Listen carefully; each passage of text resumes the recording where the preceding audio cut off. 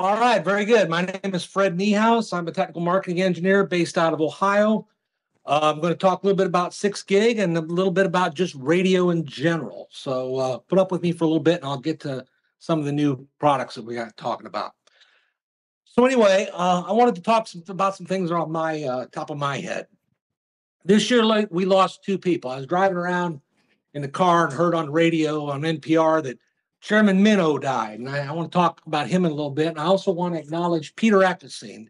Peter Ecclesine was a Cisco employee, and that man did everything to work with the FCC to get these spectrum, you know, six gigahertz spectrum available for people to to use. You know, you had to convince the FCC that you can coexist with the incumbents or the licensed people. And Peter chaired the uh, WFA Alliance. He did some a lot of things with IEEE. And anyway, I just wanted to acknowledge that. And also, uh, when you talk about Chairman Minow, which is I think was kind of funny, you know, he's known as saying that back in the days when radio, when TV stations went on the air in the morning and went off at night, he goes, if you stay glued to that television set, watch it all day, I, I will assure you it's a vast wasteland and it's useless, right? And anyway, the guy uh, from Gilligan's Island you know, the Sherwood Schwartz that put that together.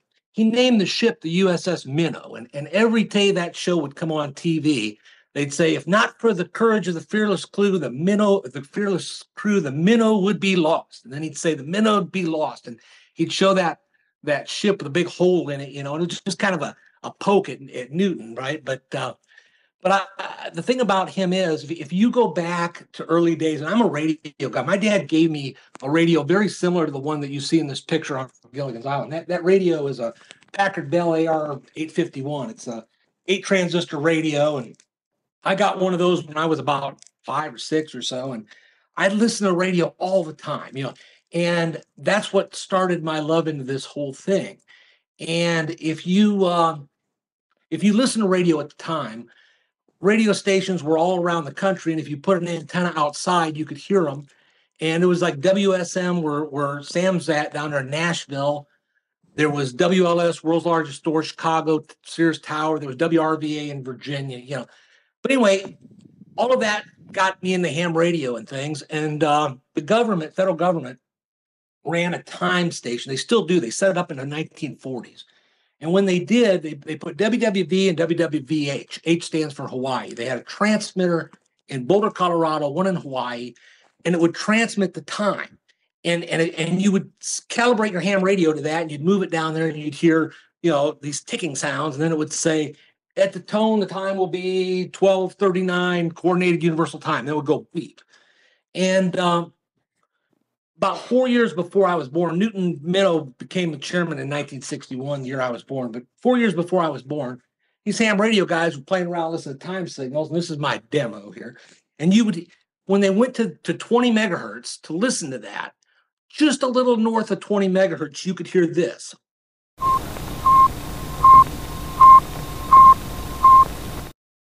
And these ham radio guys said, What the hell is that? That was Sputnik. That was the very first transmitter from space. It started out on 20 megahertz and 40 megahertz, a little bit north. And all of a sudden, it's like, what the hell is that thing? And that started the space race. Uh, John F. Kennedy said, we're going to put a guy on the moon. And, and Newton Norman was a, one of them stuffed shirt attorneys. And he helped JFK with his campaign and ended up being the commissioner of the FCC. Well, the reason I, I bring that up is because you can't transmit ground station satellite work on 20 and 40 megahertz. You know, you know, those were frequencies that, that were really low. Newton was the guy that basically said, let's open up spectrum for satellite operators. Let's let's use frequencies up in the gigahertz range and things. And he coordinated all that and he put that together. And when when uh, several years later, uh, in 69 or so, when we put a guy on the moon, finally put somebody on the moon, I was uh, eight years old. I watched that on TV, and I happened to live 10 minutes from where Neil Armstrong's parents lived in Wapakoneta. We call that Wapak instead of Wapakoneta, but these Ohio cities all got Indian names. But anyway, Newton says it's not walking on the moon. It's communications. It's sending people's thoughts. It's it's coordinating. It's he was basically saying you want the internet before there was ever an internet. So I, I just wanted to acknowledge him. I think he's pretty cool. But this vast wasteland thing kind of got me to thinking a little bit because um, I grew up on that vast wasteland. If I wasn't playing with the radios, I was watching TV. And uh, anyway, I'm a radio hardware guy, just to kind of give you a little background. I'm a radio hardware guy. Um, started with Cisco. Well, I've been doing unlicensed since 1995. Uh, Cisco bought us in 2000. I was original Aironet guy. And I got a poster back here. So they bought us in 2000. By 2008, we did a billion dollars in wireless. I have no idea how much we do now, but I'm kind of proud that I was part of the team that got that going. Anyway, um, it it's kind of funny because I mobility field day people seem to like to use Thursdays. You know, I did I did a mobility field day talk. It was either Barcelona or Berlin. I don't remember. And I went down there and, and talked about something. And I hot footed it back from over the pond back home. And first thing I did is run over to flea market. And there's this guy with a Martin guitar over there. And I'm looking at that guitar. I go, What year is that guitar? And he goes, You don't know me, do you? And I'm like, No, should I? He goes, Well, you ought to. I ran your audio mobility field day in Berlin or, or, or where the hell it was. And I just thought small world that, that, that you could run into somebody like that. So I put him in there. And um, I just kind of wanted to talk a little bit about me for a minute. I, I, uh, you know, I was raised up on this TV. You know, I love the Andy Griffith show. Andy Griffith was a small town sheriff. My dad was a small town sheriff and also played guitar. So uh, it's just kind of a, a, cool thing. The guy behind him there holding the mandolin's Roland White. Roland White's is this place here called the Station Inn on in Nashville. He's one of the Nashville super pickers. And anyway, all this stuff in TV influenced me as a kid, right? You know, Star Trek, I'm a big Star Trek fan. Spock was talking to the uh, M5 Duotronic computer from Daystrom, you know, Dr. Daystrom. Well, no few people know this, but Daystrom Technologies was a holding company and they they owned Heathkit, you know, then and a lot, a lot of other different electronic companies. And uh, you know, although Nichelle Nichols or Uhura was the communications officer on, on the Enterprise, the guy that always got my attention was was uh, a guy named Ivan Dixon, the guy down there at the bottom holding the microphone. It was on TV show Hogan's Heroes. He was a telegraph operator, and I was learning Morse code at the time. I was trying to understand what he was trying to send, you know, and he was all referred to as a technician. I'd never heard, heard of the term technician when I was a kid. Now I wanted to be one of those, right? And you know the the cartoons had flying robots, and you know the the between Star Trek and Lost in Space. That's that robot over there in the corner you know, all of that technology just kind of got me going, right? And it was, and all these things were all dovetailed into either music with the Andy Griffith show or Hee Haw or something like even even Lost in Space, the guy that flew that ship, you know, was John Robinson, flew the Jupiter 2. And you'd see him on a horse with Ben Cartwright on Bonanza when if you watched enough TV. Anyway, that's enough of that.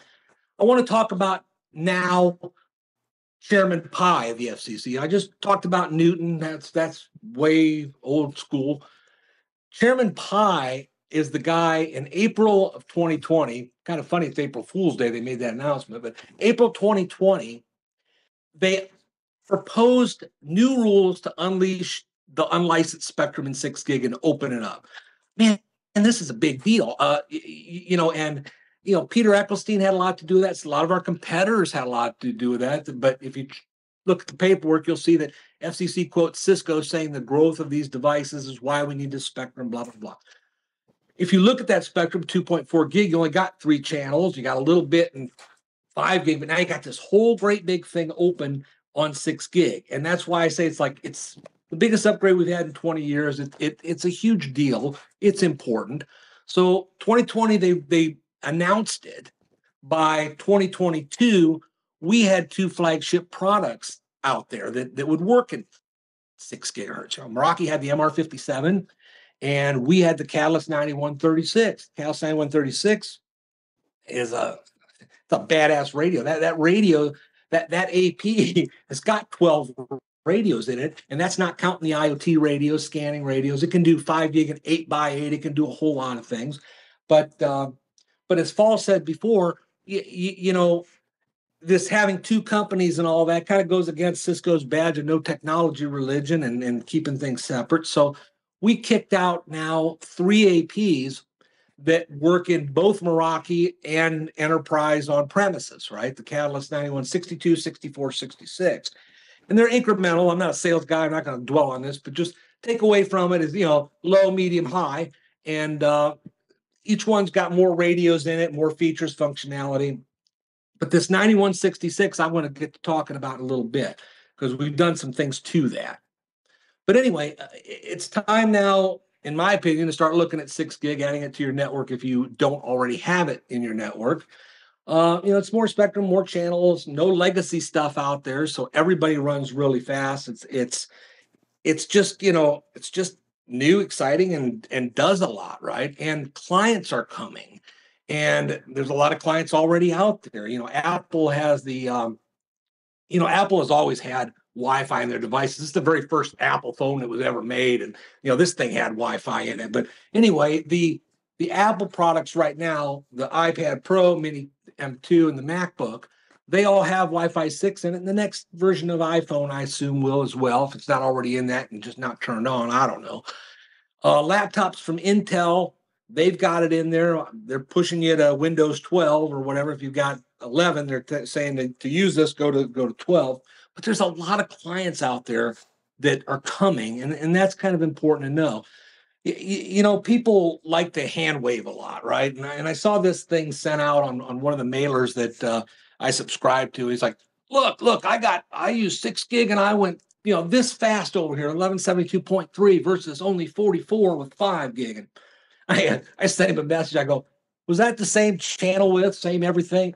Oh no, no, no, no. I, I, I used 160 meg bonded on a quiet channel on six gig, and on five gig I used the corporate network with 20 megahertz and and and typical traffic on. I'm like, well, okay, you know what's your point? Well, I guess the point really there is that six gigs here. It's a highway. It's open. It's clear. It's all about spectrum efficiency, user experience. You can actually get these kind of speeds real world, you know, and and but the big thing is that solves the spectrum limitations in 2.4. You know, you don't have much in 2.4, you don't have much in 5. The thing about 5 gig is that when we negotiated being able to use 5 gig, you had to leave the frequency if it happened to be in that little section there that, that was terminal Doppler radar, you know, or and uh, with with 6 gig, you've got this whole spectrum. And if you use low power indoor, which is what most APs are today, they're all all reasonably low power they can run across the entire spectrum, all the channels. You don't have to frequency coordinate. You don't have to get off the channel. You don't have to do anything. If you increase your power, and, and, and there's methods to increase power, have products with higher power, then you got a, a, an issue here, right? Because there are incumbents or licensed people on that six gig band, especially in, in UNII 5 and UNII 7. And they've got dedicated links. So if you look at the corner bottom left there, if you've got a building right in the middle of that link or so, if you're running low power APs, it's okay. You can still run them. You don't have to vacate the channel like you do with, with weather radar on five gig. But if you run higher power or you use external antennas or you do things like that, now you know you're coming into a different different realm. So low power indoor not an issue, but standard power requires frequency coordination based on GPS, AP height, and a requirement to check against a known ba- database of these licensed incumbent people. So a little bit of challenges there. There's there's methods that we're working out to automatically have the AP query the database or the system query it and go through the channel. But that stuff is still kind of coming down the road a little bit. But I want to talk about power since I've been crowing about low power if there's something called spectral power density, okay, and and the problem is in five gig is whatever your power is in five gig, that's what it is, right? So if you're on a 20 meg channel, you'll have 23 dBm max power there versus only 18 dBm on six gig. Now, six gig is a smaller radio wave, takes more power to go farther because the wave is smaller, etc. So it kind of, if you try to do a bake off on a 20 meg channel, you're going to go, oh, that's six gig stuff. That isn't worth anything. Oh, I hate this thing. You start bonding the channels though, and with six gig, your power goes up 3 dB every time you go up a channel length, right?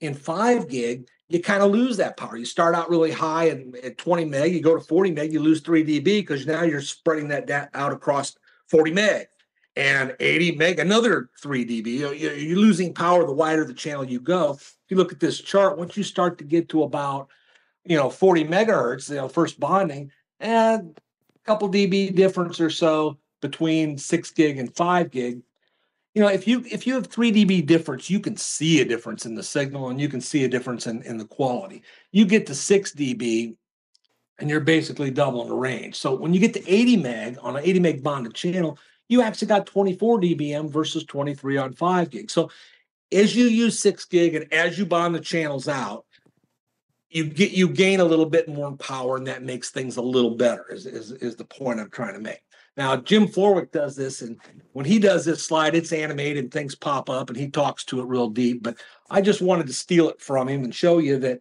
at 80 meg, you know, you 23 dBm, 5 gig, 24 cell sites are about the same. And Jim makes the point that at 80 megahertz with 6 gig, you got 14 channels there versus only five channels at 5 gig. So it's, you know, it's a game changer. It's important to understand. And there's a lot on site surveys modeling, you know, Hamina, Ekahau, everybody makes utilities that do that kind of thing. So just kind of be aware of that.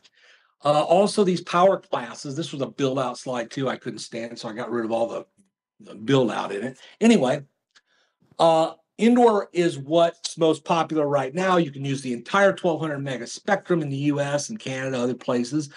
Um, a couple things. It uh, is indoor only integrated antenna required and it's fixed AP operation, which means you're not going to put this on a boat or a car and go drive around where you can cause interference to these microwave links as you move about, right?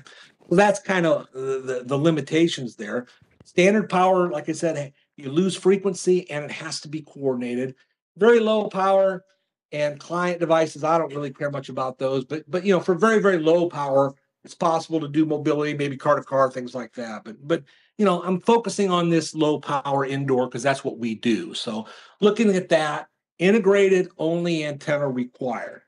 That sure causes a lot of problems because I like to do deployments where I like to focus my energy places, right? So if if you if you're putting something up traditionally, we would take a 9120 or 9130 and we'd marry it to a 6 dBi antenna and we'd cobble that all together and point it where we want the signal to go. And Meraki had the same thing with the MR46E and the and their antenna.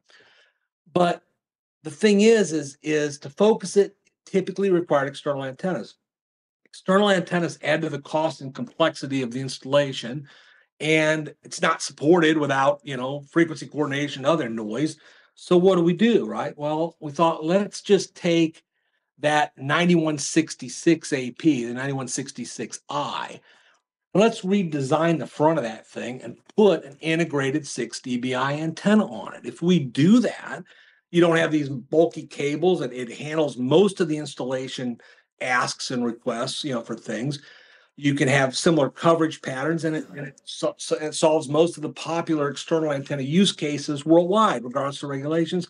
Less components, less components, less cables, less points of failure, better mean time between failure ratings, and it's just aesthetically a lot better, right? So um, if you do that, that leaves us with the 9166i, which is the designed for ceilings, does a 360 degree pattern, and this new 9166 D1. The D1 has got the integrated antenna in it. Now, if I grab both of them here, I used a magic marker about 20 minutes ago give you an idea of the differences here on, on the size. The antenna is slightly thicker on the directional antenna model versus the omnidirectional ceiling mount model. Other than that, they're pretty close to, to identical. I mean, you can just put them in e- either way.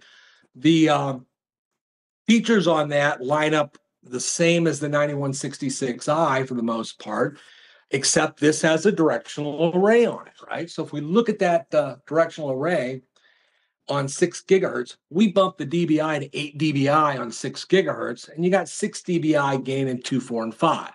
Why did we do that? Well, again, six gigahertz is a small radio wave, harder to push. Let's give that a little bit of an advantage on the directional antenna side of things and between the power spectral density increases that you get on six gig it starts to scale up pretty well. So so that that AP basically gets you what you had to cobble together before, which I think is a is an important thing. The other items are are just sales things that are there that you can see on the spec sheets when you look them up. But the the cool thing is that this AP uses the same bracket one and bracket two. Now bracket one doesn't fit an articulating arm. What we've got here is this is the AP itself with an articulating arm on it. So that way you can pivot it up and down, side to side, and aim this exactly where you want to aim that that product, right?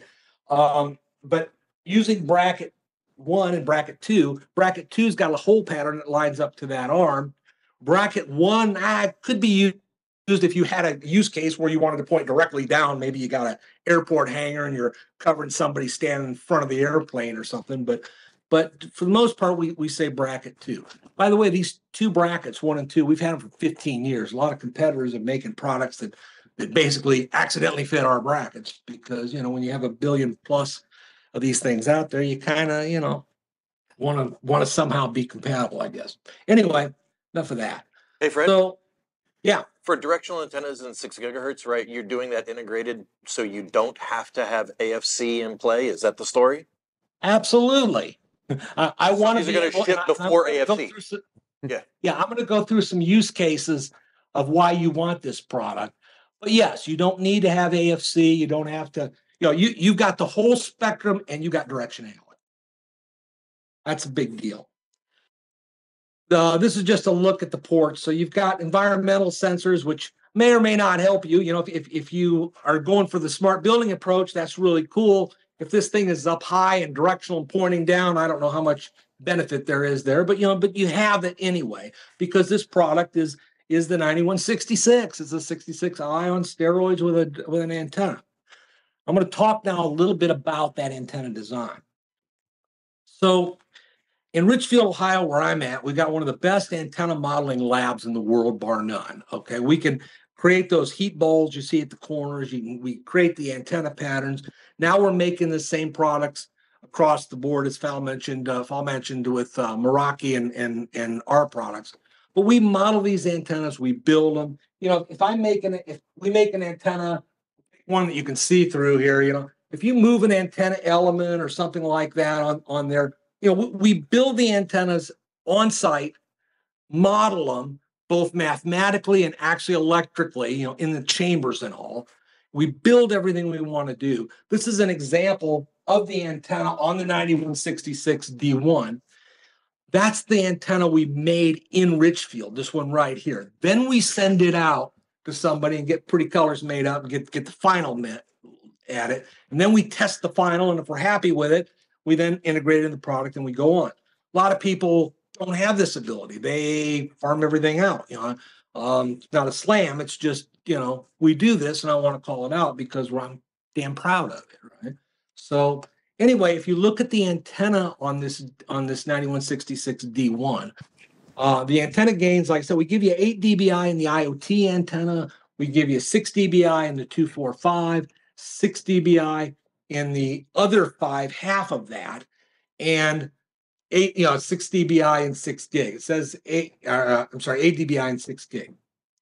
So that said, if uh, rather than bore you with all these damn patterns, I took two patterns, one using the 9120 and the 6 dBi antenna, and laid it up against the 9166 D1. And you can see the patterns are pretty, pretty close, pretty good. But when you get to the 9130 and the and the C9103 6 dBi antenna, look at that. That's really what we calibrated that antenna to do. We wanted that thing to, to, to be fit, form, and function like that 9130 with the 9103 antenna. If you pull that down and you put this thing in its place, you get rid of the antenna, you get rid of the AP, you got one clean, aesthetically pleasing thing that goes in one spot. So that's that's that's a big deal. Now, the 9166 D1 and the 9166i are the two two model APs that can do dual five or do six. So if you've got a country that can't do six gig, or maybe you just don't want to deploy six gig this month or this year, you can lay this thing out, do dual five.